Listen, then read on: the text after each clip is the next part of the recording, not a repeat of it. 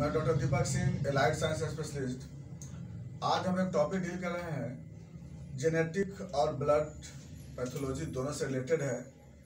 Thalassaemia thalassemia एक genetic disorders है, जिसमें पहले की अपेक्षा अब इसका मरीज़ ज़्यादा मिलने लगा है। ऐसा नहीं किया है कि इन्फेक्शन डिज़ीज़ है। है जेनेटिक डिज़ीज़ लेकिन जो जीन एक्सप्रेशन है, वो पहले की अपेक्षा ये ज़्यादा बढ़ते जा रही है। पहला मरीज़ 1928 के समय ये मिला था, उसी के आसपास। लेकिन फ़र्स्ट मरीज़ का डेथ हुई थी 1946 में। और इसके बाद से आप समय में, अब हर साल लाखों मरीज़ इससे डेथ होते हैं, क्योंकि यह जे डे बाय डे इसका जीन एक्सप्रेशन बढ़ते जा रही है। तो इसको हमको समझना पहले ज़रूरी है कि आखिर ये होता क्या है, क्योंकि आज के समय में मैरिज के समय ही बायोडाटा में ये थैलेसीमिया का जाँच नेसेसरी कर दिया गया। और हर पासपोर्ट बनते समय भी ये थैलेसीमिया जाँच नेसेसरी की गई है। हेल्थ चेकअप में भी थैलेसीमिया को लिया गया है। अभी क्यों है इसके पीछे, क्या रीजन हो रही है और क्यों बढ़ते जा रही है, इसके बारे में हम लोग डिटेल देखते हैं। तो सबसे पहला कि ये डिज़ीज़ क्या है, यह एक डिजॉर्डर्स ऐसा डिजॉर्डर्स है जिसमें तीन तरह का बॉडी में कॉम्प्लिकेशन मेनली आती है।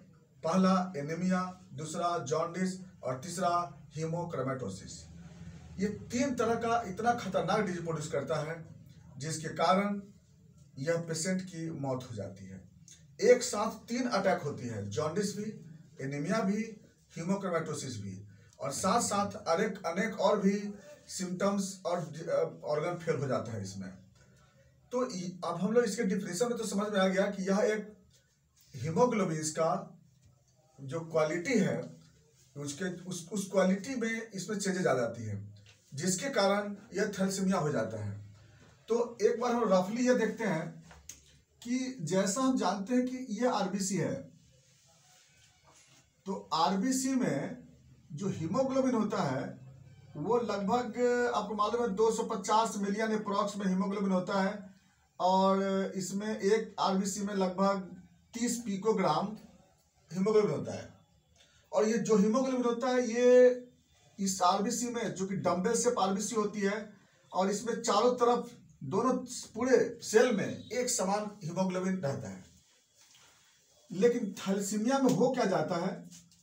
यही आरबीसी में जो इसका सेप है, वो थाइलस जैसा हो जाता है, और हीमोग्लोबिन इधर मिलता है, यहाँ पे।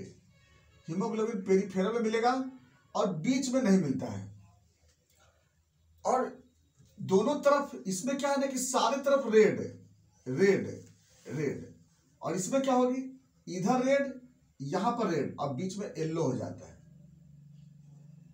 एक ऐसा और आरबीसी का शेप भी अजीब हो जाता है। तो इस ऐसा शेप भी हो जाता है और या इस, इसको बोलते हैं थाइलस शेप कहते हैं। और इसी कारण से यह आरबीसी एक तो अब क्या इसमें हीमोग्लोबिन ऐसा क्यों हो जाता है? अभी हम लोग देखने जा रहे हैं उसको। और इस आरबीसी के अंदर हीमोग्लोबिन के इस अबनॉर्मल कैरेक्टर के कारण यह आरबीसी बॉडी पे काम नहीं करता है। और इस आरबीसी की लाइफ 11 से 21 दिन का लाइफ रहता है इसका मात्र।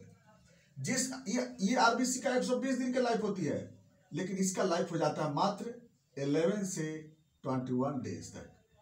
इसके अंदर ही आरबीसी टूट जाता है। खत्म हो जाता है। तो टूट गया तो एनीमिया हो गया। एक, एक्सेस टूटेगा तो जॉन्डिस हो जाएगी। और एक्सेस हीमोग्लोबिन और आयरन डिपॉजिट होगा बॉडी में तो हीमोक्रोमेटोसिस हो जाएगी। और उसके कारण स्प्लिन का डिजॉर्डर्स बोन का अबनॉर्मल बोन का डिजॉर्डर्स एंड अदर डिजॉर्डर्स भी देखने को मिलता है। अभी देखने चलते होता क्या है ये? सबसे पहली बात है कि इसमें जो हीमोग्लोबिन बनता है वह हीमोग्लोबिन में दो पार्ट होता है नाम सुने होंगे हीम प्लस ग्लोबिन।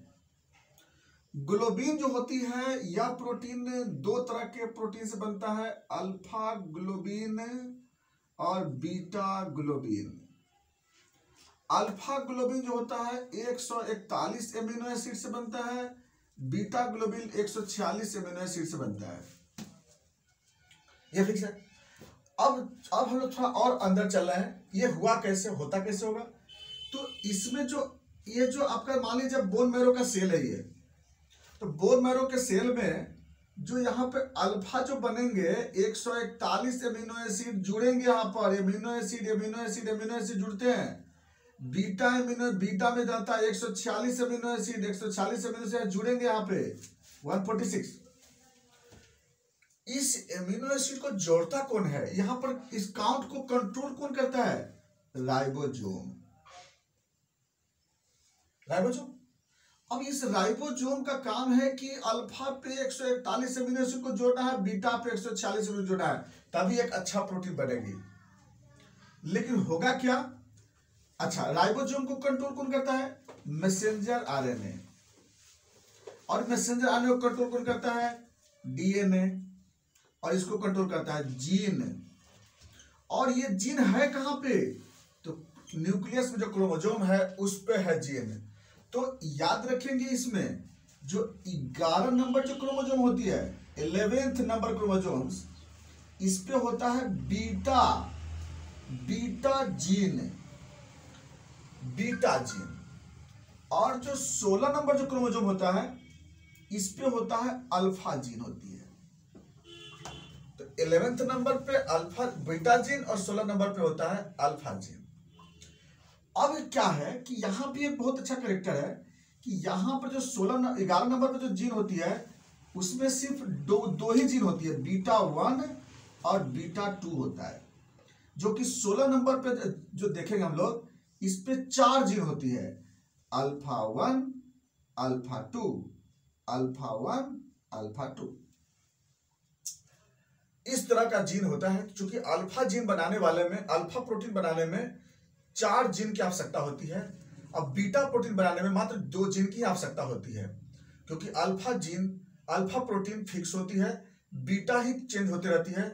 जैसे कि आप फिटल हीमोग्लोबिन में पढ़े होंगे, फिटल लाइफ में अल्फ़ा हीमोग्लोबिन वहाँ बनता है, लेकिन बीटा की जगह वहाँ पर क्या रहता है?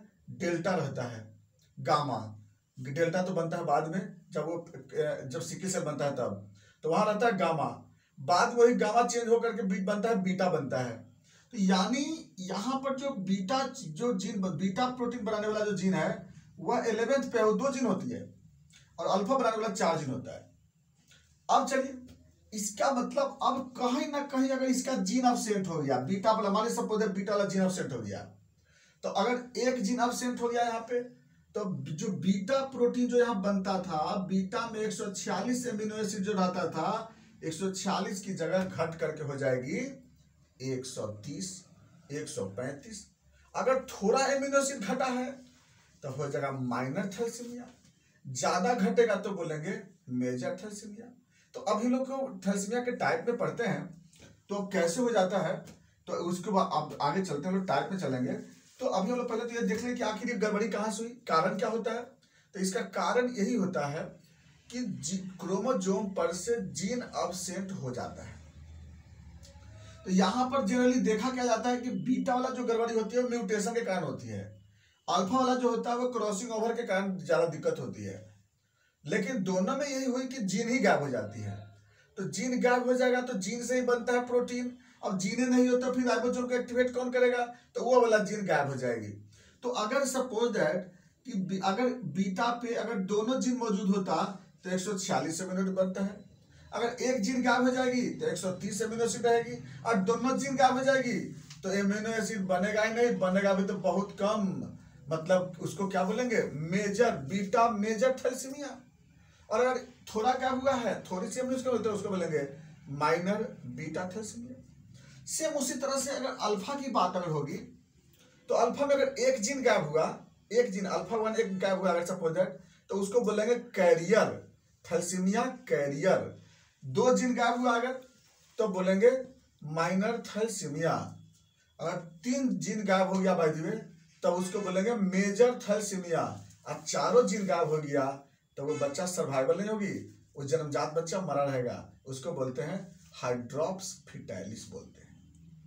ऐसा भी हो सकता है कि चारों जीन नहीं रहे अल्फ़ा का तो उस कंडीशन को बोलते हैं हाइड्रोप्स फिटाइलिस चलिए तो अब हम लोग ये तो, तो समझ में आ गया कि जो ये जो एमिनो एसिड का जो नंबर है, इस नंबर को कंट्रोल करता है जीन और वो जीन मौजूद होता है हमारे क्रोमोजोम पे 11 पे बीटा जीन और सोलह नंबर पे अल्फ़ा जीन और इसी कारण से जो होती है वह जो प्रोटीन बनता है और एक अच्छा आरबीसी बनता है। अब यही जब एमिनो एसिड का नंबर घटा रहेगा तो क्या होगी? जो हीमोग्लोबिन रहेगा उसका जो मोलिकुलर वेट और प्लस उसका साइज़ क्या रहेगा? रिड्यूस और प्लस वो क्या हो जाएगी? जो बताए कि आरबीसी में क्या हो जाएगी, वो पेरीफेरल में जाकर डिपोजिट करेगा दोनों तरफ़। अब सेंटर पे कुछ रहेगा ही नहीं तो सेंटर में इसीलिए आरबीसी का कलर कैसा हो जाता है? सेंटर पे क्या लोइस हो जाता है? और दोनों तरफ़ क्या हो जाएगी? हीमोग्लोबिन ऐसे डिपोजिट बिना काम का, किसी काम का नहीं रहेगा। ये भी रहता है कि ऑक्सीजन कैरी करता कुछ भी नहीं करेगा कैरी क्योंकि इस वक्त करेक्टर ही नहीं है कि ऑक्सीजन कैरी कर सकता है। क्योंकि ये हिम के साथ उछाल से बाइंड नहीं कर सकता है। क्योंकि याद है अब नॉर्मल प्रोटीन ऑलवेज इनसॉल्बल होता है, उसका नेचर सही नहीं होता है। नेक्स्ट अब जो बात आती है जो बताए थे टाइप के बारे में कि इसकी टाइप कितनी होती है तो हम बताया भी आपको कि अगर हम चेन के अनुसार अगर लेके चलेंगे तो दो वेराइटीज का होगा। अल्फ़ा थेलसीमिया बीटा थेलसीमिया मतलब अल्फ़ा थेलसीमिया किसको बोलते हैं? कि जिसमें अल्फ़ा चेन में प्रोटीन एमिनो एसिड के नंबर घटा रहेगा तो उसको बोलेंगे अल्फ़ा थेलसीमिया जिसमें अगर बीटा चेन में घटा रहेगा तो उसको बोलेंगे बीटा थेलसीमिया और एक वेराइटीज होता है दोनों अल्फ़ा बीटा थेलसीमिया तो एक तीसरा जो अदर्स आता है, उसको बोलते हैं अल्फ़ा बीटा थेलसीमिया मिक्स्ड होता है वो। तो ये तो बहुत खतरनाक बचा होता है। दूसरी सवाल। इसका दूसरा टाइप जो होता है, इस एमिनो एसिड के अनुसार से इसको दिया गया है कि अगर थोड़ा एमिनो एसिड रिड्यूस होगी तो उसको बोलेंगे माइनर थैलेसीमिया अगर ज़्यादा रिड्यूस कर जाएगी तो उसको बोलेंगे मेजर थैलेसीमिया बोलते हैं। यानी उसमें भी अब कैसे हो गई? अगर थोड़ा अल्फ़ा में अगर सिर्फ़ अगर अल्फ़ा में हुआ है, सिर्फ़ अल्फ़ा में डिक्रीज हुआ है तो बोलेंगे क्या उसको बोलेंगे? Minor alpha thalassaemia. अगर ज़्यादा हो गया तो बोलेंगे मेजर अल्फ़ा थैलेसीमिया। सेम उसी तरह से बीटा में क्या होता है? Minor beta thalassaemia, major beta thalassaemia. तो अब जो ये अब यहाँ पर इम्यूनो एसिड जो माइनर और मेजर की जो बात होती है, वह फिर किस पे डिपेंड करता है? अब उस पर थोड़ा देख लेते हैं। अगर सपोज़ दैट यहाँ पर एक चीज़ और कुछ कॉज भी देखना है सिम्टम पे तो आगे हम चल रहे हैं, कि जैसे मान लिया सपोज़ दैट कि ये फादर है और ये मदर है तो अगर बाई सपोज़ दैट कि अब दोनों की मैरिज हुई, अब मान लीजिए सपोज़ दैट ये थैलसीमिया कैरियर है, हम लोग यहाँ पर गौर से देखते चलेंगे, हम मिटाते हुए चलेंगे थैलसीमिया कैरियर है फादर मदर जो है वह थैलसीमिया नॉर्मल है है नहीं उसमें एन का मतलब नहीं है, इतना याद रखना कि थैलसीमिया नहीं है।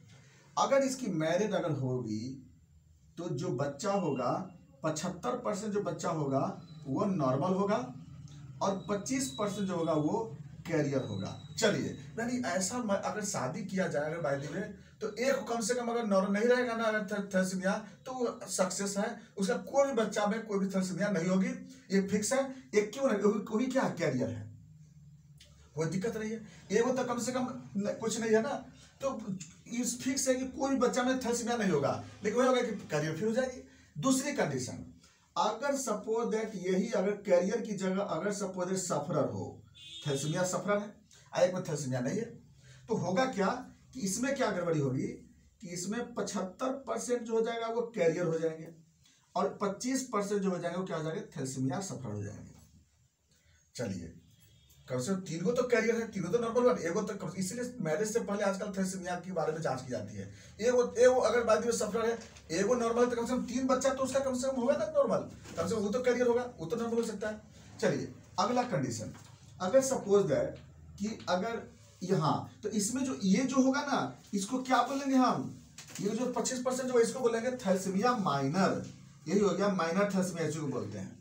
यानी एक पेरेंट अगर सफरर है एक पेरेंट अगर सफरर है तो उस कंडीशन में जो थैलसीमिया होगा, उसको बोलेंगे थैलसीमिया माइनर लेकिन अगर सपोज़ दैट यहाँ पे क्वेश्चन आया कि अगर सपोज़ दैट कि दोनों का, दोनों कैरियर है थैलसीमिया कैरियर भी है थैलसीमिया कैरियर भी है तो अब क्या होगा? दोनों कैरियर है।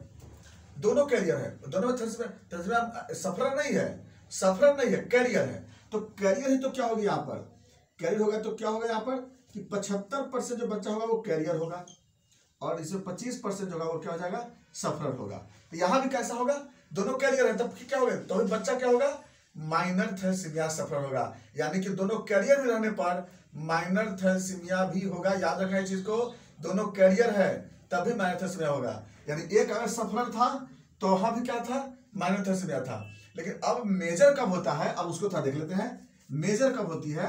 कि ये भी थैलेसीमिया सफरर है और ये भी थैलेसीमिया सफरर है। दोनों अगर सफरर है, अगर मैरिज हो गई तो इसके इसके जो बच्चे होंगे, उसमें पचहत्तर परसेंट जो होंगे, वो थैलेसीमिया सफरर होंगे, और 25 परसेंट जो होंगे, वो हाइड्रोक्स फिटालिस होंगे, यानी मरा हुआ पैदा लेगा। यानी एकदम पूरी खतरनाक खतरनाक है ये।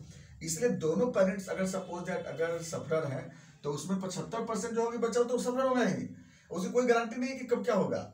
लेकिन जो पच्चीस परसेंट होंगे, वो हाइड्रोक्स के बच्चा पैदा लेंगे उसमें। चलिए एक और जो आता है इसमें आता है कि थैलेसीमिया में ये अगर सफ़र होंगे तो ये कितने दिनों के बाद ये डेथ करेगा कितने कब तक क्या होगी? तो इसमें अगर एक कंडीशन आता है कि अगर सब, दोनों पेरेंट्स अगर सपोज़ दैट सफरर है तो वह बच्चा दो से तीन साल के बाद वो ज़िंदा नहीं बचता है। क्योंकि वो दोनों में जो इंटेंसिटी होगी जीन को ज़्यादा होगी। एक सफ़र अगर होता, एक सफ़र अगर होता बाई दी तो उसमें आपको जो थैलेसीमिया होती है मेजर थैलेसीमिया, वो कुछ डिलेड में होती है। हाँ माइनर थैलेसीमिया जब भी होती है, याद रखना है कि मेजर थैलेसीमिया जब भी होती है तो बर्थ के छह महीना होते होते हो जाता है। माइनर थैलेसीमिया जब भी होता है तो एडवांस एज में होता है। ये बात को हम आगे बताएँगे आपको। हम तो इस तरह से क्या हो गई कि कैरियर इस तरह से पेरेंट से बच्चों में सफ़र होता है कैरियर होता है नॉर्मल होता है। आप इस बात को समझ लोगे अब जो बात हम लोग चलते हैं सिम्टम पे। तो जैसा हम बताया आपको कि माइनर थैलेसीमिया कब डेवलप होती है? कैरियर देखिए, सबसे पहले थैलेसीमिया कैरियर का हो, कोई सिम्टम नहीं, कभी भी कुछ भी नहीं, ये बात फिक्स है। हाँ उसकी शादी के बाद अगले अगले जनरेशन में जो होगा, वो अलग होगा, लेकिन उसको कुछ भी नहीं होगा। दूसरी बात है माइनर थैलेसीमिया का अगर पेशेंट हो, जो सफरर है माइनर थैलेसीमिया है तो उसमें जनरली चालीस साल या पचास साल या पचहत्तर, सत्तर साल के बाद ही उसमें कोई ना कोई सिम्टम अपेयर होता है। मेजर थैलेसीमिया कुछ में पहले सिम्टम आ सकता है।